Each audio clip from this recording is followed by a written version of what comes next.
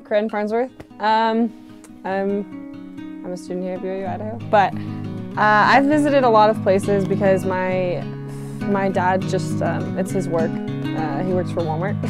and um, uh, we've traveled a lot because we like to travel as a family. Um,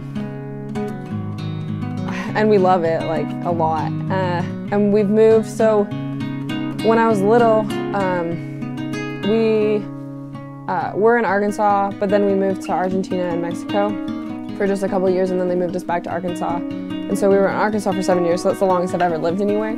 And then um, after that, my like right before my uh, freshman year of high school, we moved to China. And so I lived in Shenzhen uh, for like three years. It's an hour away from Hong Kong.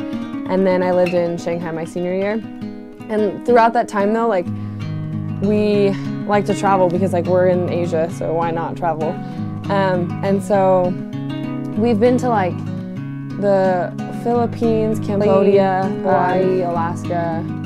I've been on like school trips to like the Mongolian desert and and like just like places in China, like Beijing and Hong Kong. And oh, and then we've been on family trips to uh, Europe, Africa, so like Italy, London, Egypt, and then one. and then just a couple months ago, I went on a study abroad to Jerusalem, which was super super fun.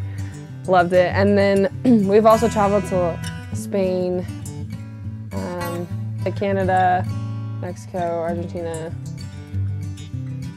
Yeah, I think yeah. So I think that's I think that's most of them. But it's just fun. And then right now my family's in Thailand because I moved from China uh, to Thailand, and then they were there for like a year, and then my dad, um, and then they're now moving to Peru, and so that'll be super super fun.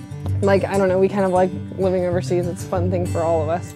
Uh, so yeah, so those are a lot of the places I've been. I don't think they're all of them because I have traveled a lot, but it's a lot of them, and I don't know. I just want to keep traveling the world. So.